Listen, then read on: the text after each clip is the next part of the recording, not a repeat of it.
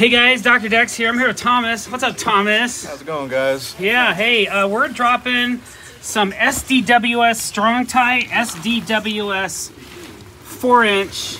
Can you see it on there?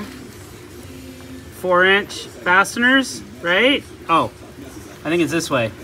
Anyway, sorry. Uh, we're hanging a ledger. We're putting them 8 inches staggered all the way down, engineer spec. And uh, I was going to show you guys how we do that. So Thomas, go ahead. He's got his T40.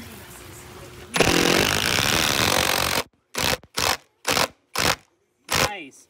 Notice how he doesn't overdrive the fastener. So we're gonna go flush so it won't interfere with our joist hangers, but we don't wanna bury that thing so deep into the wood that it compromises the integrity of it. All right, Thomas, over, over and out. out. Oh, hey, put on those safety glasses. That's, that's the way to be. All right, guys, over and out.